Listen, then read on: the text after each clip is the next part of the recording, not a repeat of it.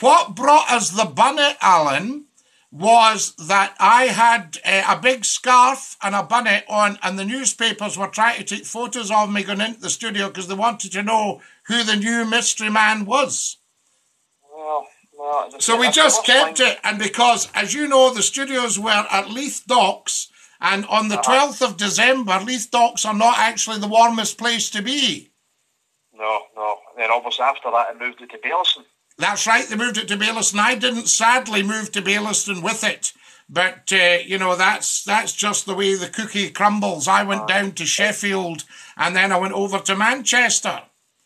And because after, I mean, that, when you done the nighttime show, did you, did you not then move to the morning? We time? moved to the morning Yeah, and that got so hot it doubled the audience again and was nearly wiping out the established radio stations. So they were in an, an absolute panic, you know.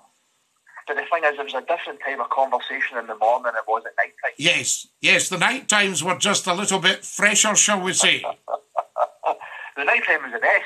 The night times, well, well, the people in Scotland that lay in bed and listen to that now, they might always, they might not always have agreed with me. A lot of them did, of course, uh, you know, but they might not always have agreed, but, you know, they, they were all listening, and that's what matters.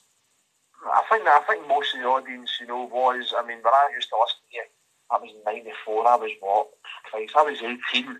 I'm Wow. 46 now. I'm, I'm 46 now. I Wow. mean, so that so I've been listening to almost 30 years. But Yes. I mean, you, you, I mean, you'll never recapture No. those days. Well, I don't know, Never. you see, but the only thing is, I'll tell you, Alan, everything was right about that. The backers were two ITV stations, right? So, so the backing was good. The station was properly set up. The management were very, very good. There was a lot of very good salespeople. There was good news people. They brought on the very best. And uh, so you had a really good staff there at the time.